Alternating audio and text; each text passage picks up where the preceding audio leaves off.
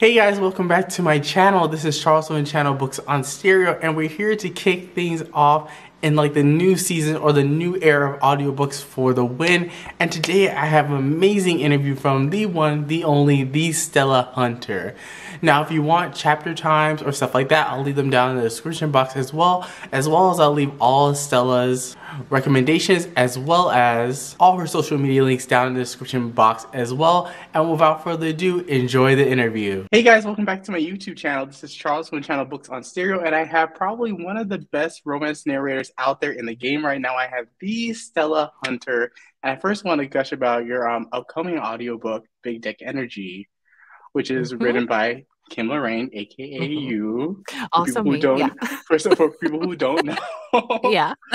but I absolutely adored it. You can, t- I could tell in your performance you were having really a, a ton of fun while recording this book. Yeah, yeah, it was it was a blast, and I think it was really funny because it started out as like a joke between me and Shane because you know he and I work together frequently mm-hmm. and at this point we've you know we are friends and so when he put out his he was asking me about his merch that he has and he was like what do you think of big deck energy and I was like that's hilarious because he has this whole in you know joke about about his deck being really big and it became a mm-hmm. thing on Twitter with him and Joe Arden when he was doing um a book for Lauren Blakely with Joe Arden and so then he started this merch and I he sent that to me and I was like, "Oh, that's very tongue in cheek. I think it's really funny." And then I reached out to him uh, maybe the next day and I was like, "So what do you think about me writing a book with the title Big Deck Energy? How would you feel about that?" And he was just like, and I was like, "And you could narrate it. We could do it together and uh, you know, we'd have this British hero. What do you think?" And he was just like, "I'm for it." and, then, and then it was supposed to just be a little novella and then it turned into a book and and that's how Ethan Byrne was born. and like the other characters you introduced in this world, I'm like, uh-huh. okay. Uh-huh. I was like, uh-huh. like him. Like now I need all these books. I need them There's a written whole like hockey team. I was like, you dropped too many names. I'm like, okay, these are like this is like five books right here alone. Mm-hmm. Well, it was like this accent buffet for mm-hmm. Shane to do because you know when when i when you know who your character is going to be narrated by it gives you this freedom to say okay well i know you're good at this one i know you're good at this one i know you're good at that one so i have all this freedom to be like all right so that gives Here's me this guy and this guy and it's going to be delicious to listen to. And we just had such a blast and i think you know over my t- two years now of narrating he has been a big part of like encouraging me and supporting me and in building my um, repertoire. And i think that because we have this camaraderie it was so much fun to write this book and know that like he's gonna have a lot of fun doing this mm-hmm. you know and he's and it's not gonna be like a, a weird feeling of oh she wrote this thinking about me it's more like oh, she wrote this because she knows we're going to have fun doing it.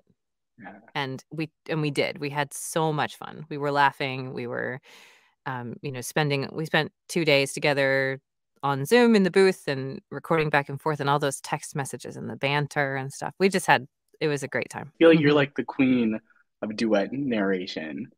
Now I'm kind of like mad. I'm like, oh, this is only dual narration. Like, come on, give me a duet. you have spoiled you know, me for the audiobooks. Yeah, yeah. I I you know, duet for me as a listener is my favorite. Mm-hmm. Um, but that's not to say that there aren't so many really wonderful dual or solo narrated books because there are and I as a narrator love doing dual or solo because when you do solo you get like full you know you get carte blanche you can just you can you make those anything. characters completely your own. You don't have to confer with anybody about like, well, I'm going to do this guy with a southern accent, and then your male narrator's like, but I did him with a Canadian accent. You know, like you don't have that happen. That doesn't happen. but like, you know, it's it is nice to have like all your choices that you get to make. I remember doing Tramp by Mary Elizabeth, and it's a book that just sticks with me. Like a lot of the time I, I enjoy them all as I'm doing them, but then I don't have space in my brain for everything, you know. So they kind of I move on, like I have to move on, and I can recall them if I bring them up and think about them. But there are some Mm-hmm. books where they just stick with you, and Tramp. I cannot forget Lydia and Talent ever. I love them. I'm like I love them, and uh, that one I got to do solo, and she was such a cool character. But there was like this big cast of people, and I got to play with all these voices and you know do things that challenged me, and so that was fun too. So I think there's two sides to the coin with duet versus dual or solo. I guess like in my first question too is um what made you decide to make that transition or addition, I should say, from author to narrator? Were you always interested in Uh, narrating audiobooks? Yeah, so I mean, I've I've always been in like I've always been involved in theater. I was an opera major in college. I so I've been on, you know, I've been on stage. It's, that's not new to me. Performing is not new to me. I've always been a performer. And I think it was like I started consuming audiobooks as as my preferred media for reading when we lived in Japan and I was home with, you know, two small children, one of whom was in school, the other who was a, you know, 3-year-old terror and I couldn't sit and read anymore. So I started listening and then I became just a listener, like a hardcore listener all the time. And I remember very quickly realizing how important performance was in the audio. Mm. And so if it wasn't a good performance, I couldn't listen to it. So I was already latched onto that and I already felt like, gosh, these audiobook narrators are so talented. It's such an amazing thing that they can do. And I never thought I could do it. It wasn't something that was on my radar until we started the podcast, Audibly Addicted. And Mo and I were interviewing authors and narrators and we were talking just about audios we loved and you know, it was this this growth of our love of audiobooks into relationships with narrators and relationships with other authors. And then I kept getting emails from people asking if I would narrate for like if if I would ever narrate a book. And I was like, "No. you don't want to listen to me. Why would you want to listen Of to me? My voice is annoying. You don't want to listen to me." So it was uh, kind of that spurred it a little bit. And then I was talking with um, with Teddy Hamilton, and he was like, "You know, you have a really good romance voice." And I, he said, I was listening to the podcast we did, and I was thinking, God, she should be a, narrator. And I was just like, really?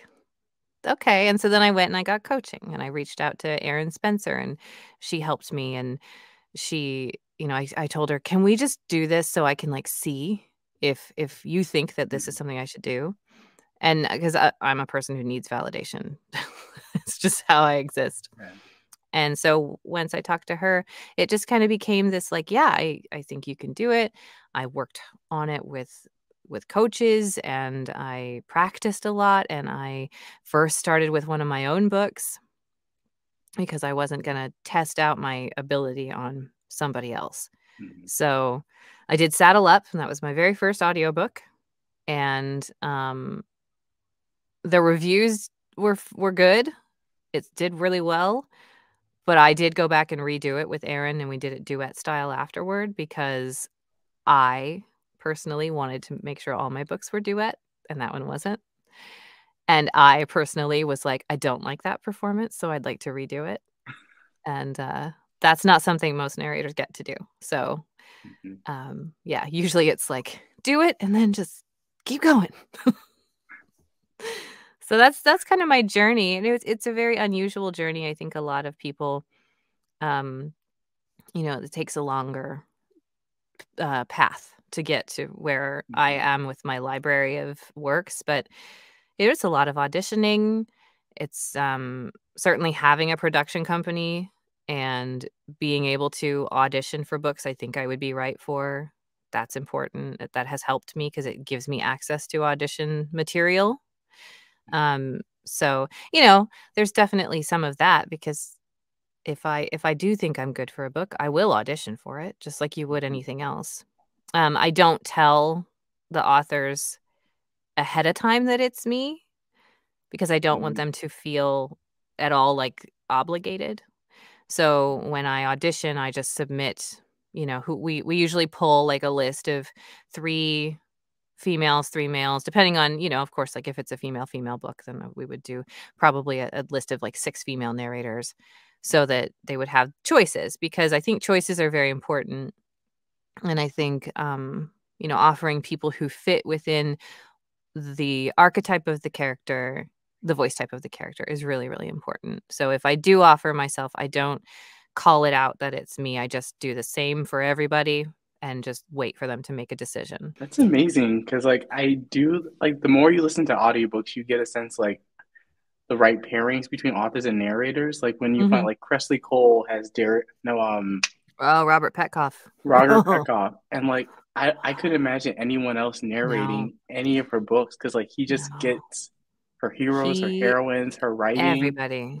He's amazing. Like Jim Amazing. Frangione. There's like Yep, some narrators and author pairings that just work. hmm They just get their dot. Because I think so much. I always think like a a great book is always elevated by an audiobook. Or sometimes yeah. they can take it to a next level. And then also, how does it um audibly addicted your production company? Because I think that's something relatively new that I've seen in audiobook space. We see more um independent audiobook production Mhm. companies other than Audible, like Pink Yeah. Flamingo. Yeah. Yep. Blue Uh, Nose One Night Audio, Stand. Yeah. Night Stand that are Yep. taking more indie titles that Mhm. probably wouldn't have been put by put on an audio like a podium as well. That would have Yeah, been I put on, on audio. So like how did yours kind of come about? Um, so that is it stemmed from the podcast. Again, you know, we built Mhm. those relationships and um we are so lucky because we had these narrators who already had such a large body of work who took a chance let you know with us like dipping our Mhm. toe into the water. Um but it really started with my uh author friend Nicole French and she came to me and she said I want you to produce my audiobooks. And I was like, I am not a producer. And then she was like, But you are. You really are because you already like I produced on my own, you know. Mhm. And um and then like Geneva Lee had her Royal series uh where she did the the new ones and it was Shane East and Kylie Stewart and I remember like talking with her about that and I was very like I'm going to give advice to authors when they ask me about how to produce your own audio because I do it. And I also know a lot about what I like as a listener, so I'll share that information. And you know, every every author's experience is different and every listener's experience is different, but it, I do think that, you know, at this point I am a pretty discerning listener, so my input was welcome there when people were asking mm-hmm. me for stuff. And so people started asking me casting advice and things like that. And so that's where it kind of was born when Nicole was like, I want you to produce these. What would you charge me to produce these? And I was like, I don't know. I'm not sure. I don't know the going rate. And so we started with that and we did her series, um, which are narrated by Wen Ross and Kai Kennicott and the first one is called The Scarlet Night, I believe. And um, it's a prequel, and then there are three books in that series. And it was duet narration, and it was just this whole new thing. But the goal was for her, like, I don't want to have to proof my books. I don't want to have to handle any of it. Mhm. I, I would like you to handle it, and I will pay you for that because I don't have time. And I'm very familiar with that. you know, I have things Right. that I also say, you know what, I'm going to hire this out because I don't have time to do it. So that's how it started.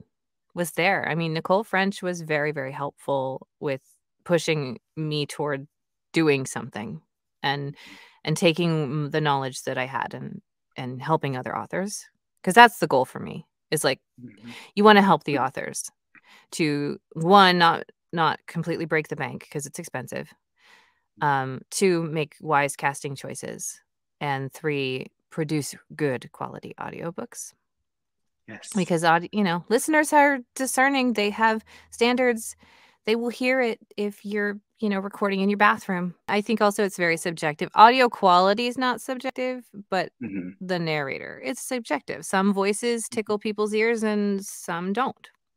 And that's okay. Like I'm not for everybody. I know that. I've seen some reviews where Oh, you're amazing. It's just like don't you. listen to those negative reviews. I just I stopped I stopped reading them.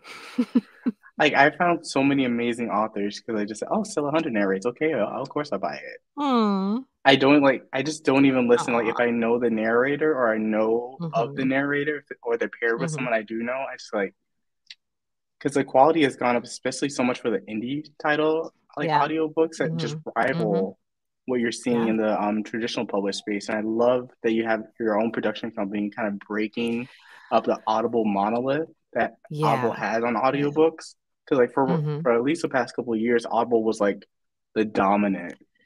Like yeah, you- I think they had they were like buying. Yeah, they were buying a lot of rights and they were producing a lot of audio. And you know, we don't buy the rights. Like we just we're just there to help you produce your book. Mhm. You own you you hold all your rights. Um, I I think that's super important from the author perspective, is to hold Mhm. onto your rights because those are yours. And if you don't have to give it up, you should keep the money. You know, like you keep it.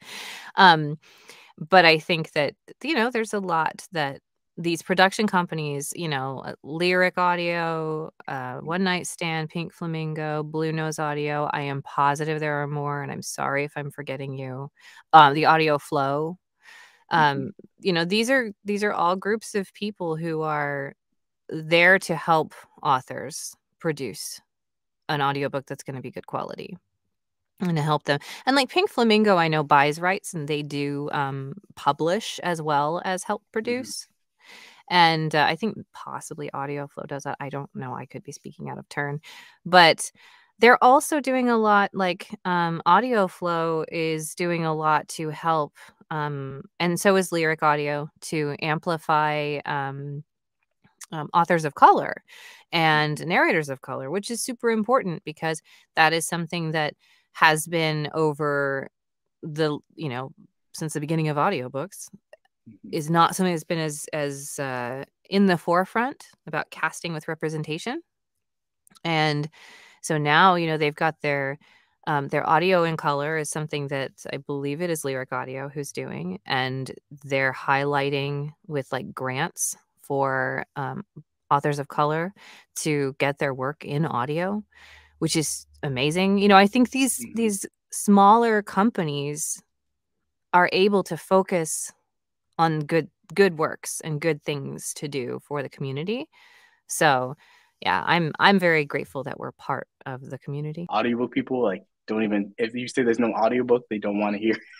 no i mean audio listeners are very very loyal if they know that Mhm. you're going to give them consistent audiobooks and i think that's really important and uh I think like advanced listener copies, you know, giving those out if you're Mhm. able to is so great because you don't want your your audio people to feel that they are left out you Mhm. know like they're just as important but it's just that it's a different audience you Mhm. know like because a lot of audio listeners are exclusive listeners some because they want to some because that's the only way they can consume the book and um, so it's really nice when you see authors who are committed to that like claudia burgoa is so committed to audiobooks and we've produced a ton of titles for her. She also works with one night stand studios and i've narrated for her and she is just very committed to like i want my books in audio because i want people to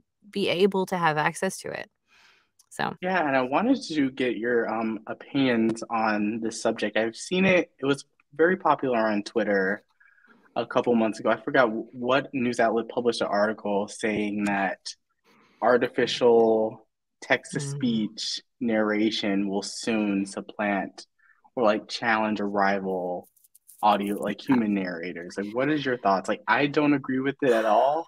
If anyone has listened to Yeah. text to speech, I have so many Yeah. times had to restart a book mo- Mhm. numerous times because I just checked out because it's like all monotone. I think, well, I think the truth is that technology is always growing and it's very fast to um to morph and change. And there have been AI things that I've heard that do sound like a real human. And um, that right now when I hear it, sometimes on TikTok there will be videos that I watch that are they're narrated and it's not like the voiceover where they put the text and it reads the Mhm. captions. It's like a it's a voiceover that sounds like a real human. But there's something just slightly off with the speech pattern. Just off enough that as you're listening, you're like a little bit unnerved. And Mhm. you're just kinda like, "What is what is happening What's here off? that is off?" I don't think a non-discerning listener would know the difference, honestly. But I think somebody who who listens all the time to voices and performances is gonna hear it and go, "This what's weird here? Something's weird."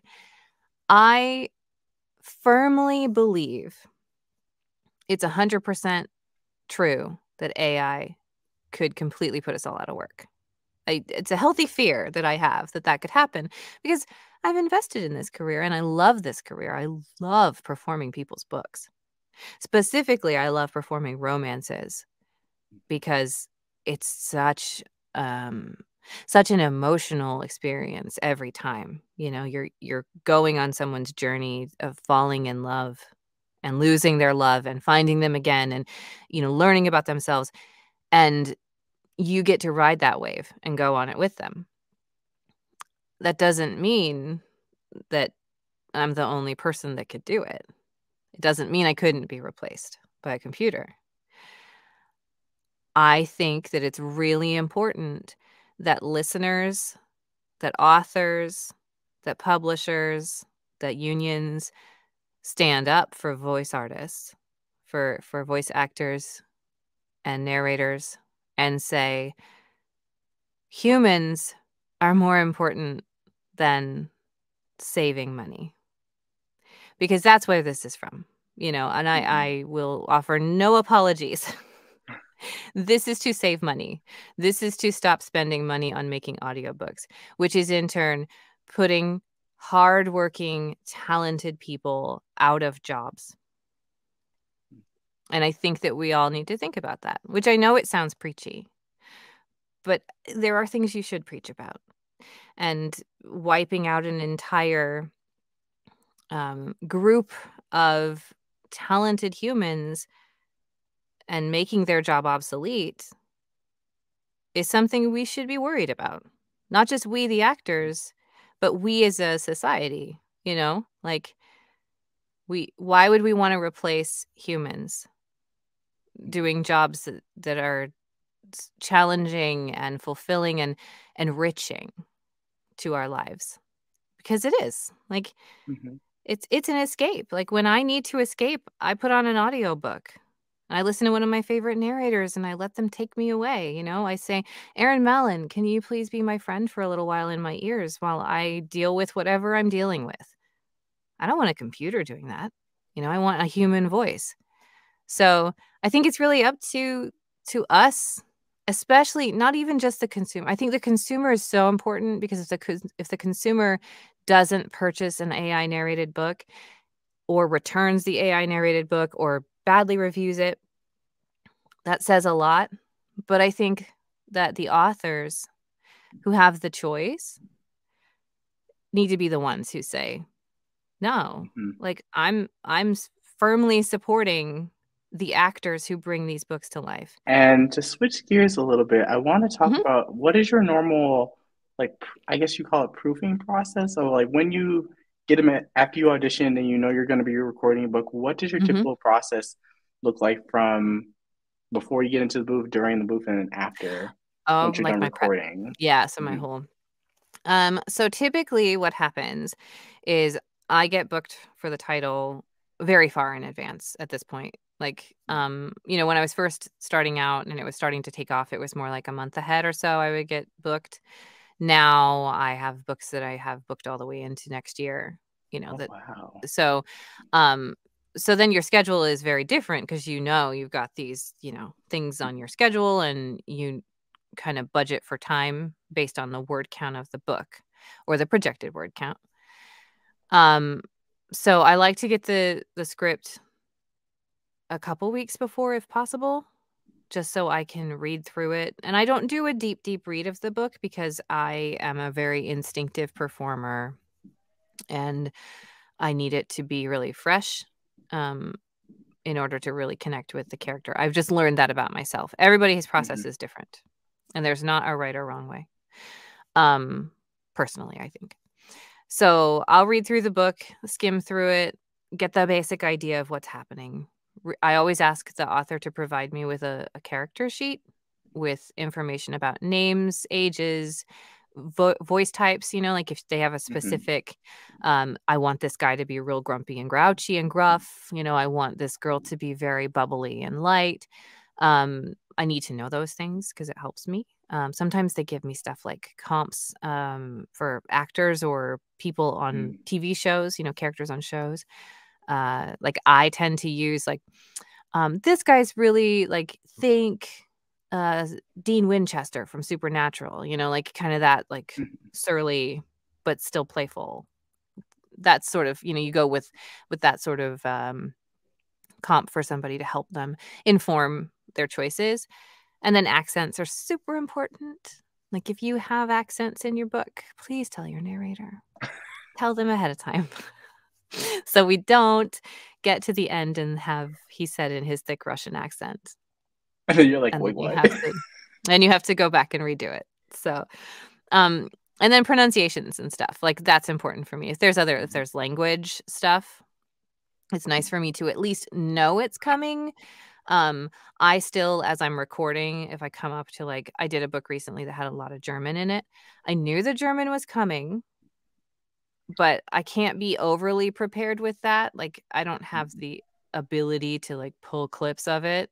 I probably I could figure out how to do that. But I'll pull up my website that I researched that on and then I can get to the phrase, put it in, listen to it a few times, say it, say it, say it, then record the line and make sure that it sounds good. Um, that's all stuff that you have to do as you're prepping. I think it's super important to at least give your manuscript one cursory read through. Again, it does not have to be cover to cover with a deep read of the book. It has to be you've got to know what's going to happen. You because it's got to inform how you're going to play things. Mm-hmm. Um I also think it's really important that you're connected to your material as you're as you're performing it. Because if you're not connected to it, then it shows. You can hear it mm-hmm. in your performance. So so I'll do like my prep. Usually it's the day before because if I do it too soon, then I, you know, forget everything. Mm-hmm. And and then my day is um I don't start recording until late in the in the day because it's I've got you know three kids home and doing mm-hmm. other things. So I usually start around seven p.m. and then I record until ten or eleven, and try to get two finished hours in that time, and uh, pray that my stomach isn't noisy and that I don't make lots of mistakes. so. so that's that's kind of the process. I think it usually takes me, you know, two to three days to record, depending on the length of the book. And um, when I am recording, every time I have a new character show up, I will take a clip of their voice and put it in the clipboard on my program so that I can reference them again later when they show up again and hear what their voice sounded like. Um, but yeah, other than that, it's really like I'm in here and I'm performing the book. And huh. yeah, trying not to mess up. Mm-hmm. It doesn't just stop with the narrator. So, you know, the narrator gets the book, they do the book in a couple of days, but then the editor, engineer has to go through all of that and clean it up. So, mm-hmm. um, you know, that can take much more time because it's listening for noises, um, marking when there's a mistake, uh, making sure everything is there, making sure that um, you didn't mispronounce things you know all of that. Mm. So so the engineer does it and then approver listens to it and then you get your corrections you have to do your corrections. Sometimes you get a ton sometimes you get you know five sometimes you know we love it when we get five. But you know usually usually it's like 20 or 30 corrections that you have to record and then the editor has to go in and put those in and then they got to make sure it's going to meet audible standards so it definitely takes time. I would say we always ask for a minimum of four weeks from the time you give us the manuscript to the time you get your final files. So at least a month to make sure that it goes through all the checks and that it's you know quality production material um, because there are also things that can delay recording. You get sick um, mm-hmm. you your neighbor decides that they're going to have a new roof put on you know i mean like all of that stuff is in my case it's my neighbor who gets out his wood chipper and starts oh, going oh, no. to town for hours you know and so i think that it's it's always going to take longer than you think it will one to to record but two to get the process done and so you want to always allow if you're trying to like get a pre-order for your book and make sure it goes live on a certain day you want to allow 8 weeks at least from the time you give the manuscript to the time you want that book live and do you typically find like um because it normally said you said it's like 2 to 3 days to record a book so like mm-hmm. you are like could you have like in one situation you're recording you moved on from another book and you're recording mm-hmm. a new book and you still have to do pickup and corrections oh, yeah. while you're doing another book yes yeah i did that yesterday you find that difficult yeah. to juggle no. because like to like flip between two different books it can, it can be but i think the corrections are such a different process and they take um they don't take as much time but like for instance yesterday I was doing corrections for Locked Up Liars by Elle Thorpe. Um, and then I was also doing corrections for The Plan. And then I also was finishing recording Deviant Princess by Tracy Lorraine. So oh. I mm. had, you know, like look at your your face. that was a happy face. I love I love Tracy Lorraine. Like I love Tracy Lorraine. Found her because of you, and I'm like, dang you, Stella. Now I am hooked. I love her. yeah, I'm and hooked. I think it. Well, yeah. So Deviant Deviant Knight should be out any day, and then Deviant Princess I just finished, and then I start Deviant Rain uh, next week. So, but it's like that's really different because you go from the plan and locked up liars are American women, but in Deviant princess, I'm, you know, like this rough London girl. So the accent has to change. so that's a little tricky at times. You have to really settle into it. And her accent is uh, different from my normal British that I do, you know, which is that more, uh, not necessarily posh, but maybe a little more upper class British. Mm-hmm. And uh, so, yeah, I have to put myself in a real different mindset. when I'm Emmy. And um, I know you do a lot of duet narration. So mm-hmm. how does that mm-hmm. change the recording process? Or do you usually have them in booth while not recording all, no. duet style? Yeah, it's not usually connected. Um, I tend to when it's my own book because it's a different process for me. Um, but it's it can be very cost prohibitive to do it that way um, because everybody has to be paid for their time that they're working, you know, because that's fair. Mm-hmm. Like you have to pay mm-hmm. everybody if they're if they're recording together, they should be paid for the time that they're together. Um, so I have some of those where I have done those specifically. Uh, the ones I do with Shane, um, we are in booth together. Um, we work really well that way, and we love it. It's a lot of fun. And we just finished um, recently Two Pretty Lies by KL Clare. And that one we recorded over Zoom and it was a super fun experience. And it's an age gap and like it's great. He's like her bodyguard. I have to stay away from like when you do it with Shane. I'm like, oh. I'm like Stella. I already have enough books I need to listen to you. I I just need to like block out yep. like your your yep. guys' Twitter when you post quit like post uh, yeah i'm like yeah. i can't i can't listen because if i listen i'm gonna want to buy it and listen to it yes yeah yeah well and i think that um when you do do it and you're not together some people it's always more fun to do it together because you're acting with each other, especially if you're somebody who has a theater background or a screen, you know, film or TV background, because you're used to working with a partner and sharing a scene with somebody. So I love it. Aside from the fact that it can be challenging to schedule, I love it so much. However, doing it separately is also just fine. And the thing that we do is like I mark the audio with two snaps. Some people use like a click of a pen, some people use a dog clicker, and you just mark it where the other person's lines are supposed to go. And then that person's recorded their line. So it's really all on the engineer. If the engineer is very good at their job, then they will make it sound seamless and it will be beautiful. As long as the audio quality of both people is up to snuff. You know, like it, it's got to be like that has to be similar enough that you can balance them. If you know if you got one person recording in something that sounds like a tin can and the other recording in a booth it's not going to work. Um so you know the sound is too different. There's just no way.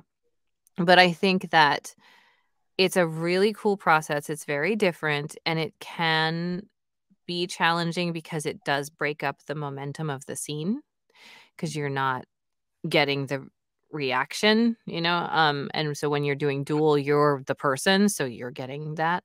So what I do is I tend to just read the line in my head and in you know the in my head of like how they would say it yeah and i feel like this is um this is a very fun question I'm, i want to hear your opinions so i know okay. you do a lot of duet with shane mm-hmm. but who mm-hmm. will be like a, a dream partner that you want to narrate more with instead of your duets with shane Oh, you're so mean to me. It's okay. Well, I'll, I'll, edit this clip out and post it to Shane. Just send it to page. just send it to him. Like she's abandoned you. Um. Oh. So you do you mean on Zoom? Or Zoom, or like um, if you had another like I know you did with JF Harding, would you mm-hmm. swap I love him JF in for Shane or Teddy I Hamilton? Love I love Teddy Hamilton. You're asking me. you must choose all one. of my my friends. Um, so if we're talking about doing zooms with people, so I'm going to quantify this. um, I loved zooming with JF Harding. We had a blast together on the baby proposition. And I really just enjoy him. I would love to do more of those with him. Um, but I also this is hard. Um, I just recently did some Zoom with Sebastian York, and he was just lovely. Uh, so I would love to work with him uh, in that capacity. I think um, it's it's just a very hard thing to to choose because also when you don't I know I'm the worst, but like when you don't I feel like I broke you with this question. You broke me. I don't make me pick because I also love Aaron Shedlock so much and like we have so much fun together. Um it's really fun to do duets with people that you understand how they're going to deliver things. Mm-hmm. Uh, so like Teddy Hamilton and I have only done one duet together, I think and I would love to do more with him because I I love working with him. He's he's always so wonderful to work with. And but they all are. So this is a very unfair question. I so I'm just gonna walk circles around it because I don't want to answer. Mm. I would love to do a duet with um Emma Wilder. That's who I would like to do it with. Ooh. That's, yes. Yeah. That would be interesting. An FF, yeah, Sapphic, mm. maybe. Yeah. Yeah. Maybe. So possibly. Okay. I would not say no. I would never say no to that. Um, I think that there's not enough sapphic romance out mm-hmm. there. So, you know, um, I, but yeah, I think she would be a fun person to duet with. And I like multicast because then you get all the different talents that you get to be with. You know, you get to just like enjoy it all together. Yeah. Um, so and then you know, James Joseph. He's I really like him. His voice is mm. Beautiful. Have you you've listened to him? If you've listened to Tracy Lorraine, right? Or have you not did done? um her newest, the first book in the newest Uh-huh. series, right? Yeah, the I Wicked. can't remember the Wicked- name. Wicked Night. Wicked Wicked Summer Knight. Night. Mhm. Yeah. And he Yeah. was new to me. I was like, oh, okay. Yeah, I'm adding you to the list. Yes, yeah. We we have been enjoying him. I've been working with him a lot, and I do really like working with him. Um, So Shane's the so- main squeeze, and then maybe James Joseph is. I won't. I won't make Shane- you choose. Shane's the I'm main just trying squeeze. to subtly like get you to agree. So like confirmation. If Shane doesn't do a do a with Stella, then here's then here's his next partner in mind. Oh, you're so mean to me. Um, my okay, so Br- British partner, my my second main British partner squeeze is James Joseph. Okay, and then we'll choose. Then you can choose an American one, and then we Ugh, and then I can let you off the hook. God. this is like I'm under pressure. Um, I think probably at the moment, uh, JF Harding. But this is under duress. I want to go on record. So everyone just Can't like I skip just that under duress part, and then we just move on. Listen, can't I just have a my own reverse harem of just voices that I get to narrate with? Like, But that is a great segue Why? into my next question. Any upcoming projects or any you up, any upcoming projects that you're really excited about? And then the other parts of that question is: Are there any audios that you have done or that you recently listened to that you really love that you would recommend? mm, okay. I have many upcoming projects. There are so many of them. Um, this has been my busiest two months that I've ever had. Um, Last Resort by K. Bromberg is coming up. Um, that's in post production right now, and that's me and Aaron Shedlock. Um, I worked on Hopelessly Bromantic, which is a full cast for Lauren Blakely. And um, I also obviously have the Mate Games, which is probably like my, as an author, um, I wrote with Meg Ann, and it is a four book series. It's reverse harem, it's multicast duets. So I do get my reverse harem of voices that I don't have to choose between. See, I, I like I gave you a good I gave You you, a good did segue. it. Good I made it up good to you. Even with a cameo from my main squeeze. So yeah, that was um that's probably like the biggest project I think because it is the main character, like the heroine has the bulk of the all the books and so um we just put book 1 up and it is a little over 9 hours and it is just it was a joy to listen to and I don't even like to listen to myself but they everyone did such a wonderful job and we have James Joseph and we have JF Harding and we have Aaron Shedlock and we have Jason Clark and um and then we get a cameo from Shane East and it's it's really really fun. And it was um produced by Audibly Addicted but also edited by Tyler Whitlatch who is just this like amazing wizard of audiobooks. Like he's so good at engineering audiobooks. And so we worked with him on that simply because one i know he's wonderful but two um i we were already so booked that i i'm not going to take space like you know my own audiobooks don't take space away from our clients and Mhm. so i outsource that to people that i trust but that is going to be such an experience and we have our um, people who are our alpha readers who got to read as we were writing the books they're listening to the first book right now as like a, a thank you because of course you know they they Mhm. put in a lot of um, work devoting time to listen or read you know and give feedback and and make sure that we were on the right track. And they are just enjoying it immensely. So that's really great to hear. So because you know anytime you do a full cast you you get we'll get you on you'll get an AOC I, I'm Don't- waiting. I'm like I'm eagerly like Yeah. making room in my reading schedule. yeah. for, like, set aside those four books nine hours Hey. Nine hours to listen to book one. and then finally, one final question. What is one mm-hmm. audiobook that you've been loving recently? It doesn't be an all time favorite. It be one that mm. you did or someone else did. But what's one that you really, really love and you want to tell people to go check out? Oh. Okay.